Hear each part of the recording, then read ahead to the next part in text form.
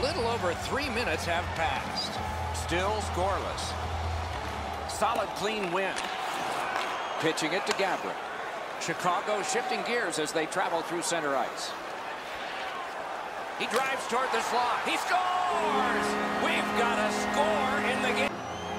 Just under six minutes to go. Chicago's up in this game, 1-0. He could start some danger here. The stick can poke, checked away. And another save. Mark him down for one more. Chicago starting back in their own end. Laid on to Palat. Took a quick look, saw enough that he wants to retreat. Ranks one, blocked. Toronto's carrying it through center. Terrific hand-eye. Redirected, he scores! Face-off win, and now what will they do with it? Poke checked away by Huberdeau. Oh, what a play! Scooped up by Marian Gaborik. Moving it to Ekblad. Up the wing with it now. And he slips it back in. At this critical point...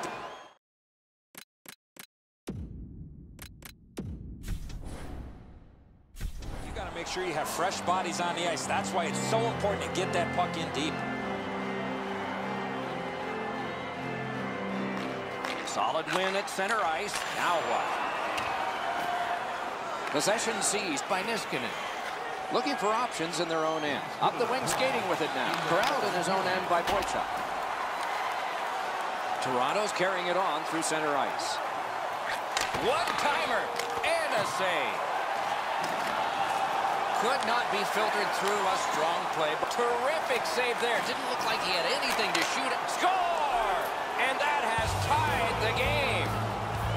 Coyle's gotten this game tied up at its most dramatic moment. The waning moments of the third. Chicago's got another face-off win. Tip to the net. Great chance, but he missed. See if the momentum turns after that missed opportunity late in the game. Directing that one to Williams.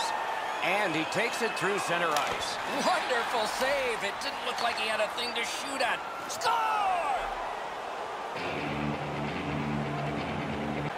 Leonard's seen a lot of rubber tonight. His team defensively hasn't helped him out very much, but he's turned aside almost everything, and as a result, they have the lead.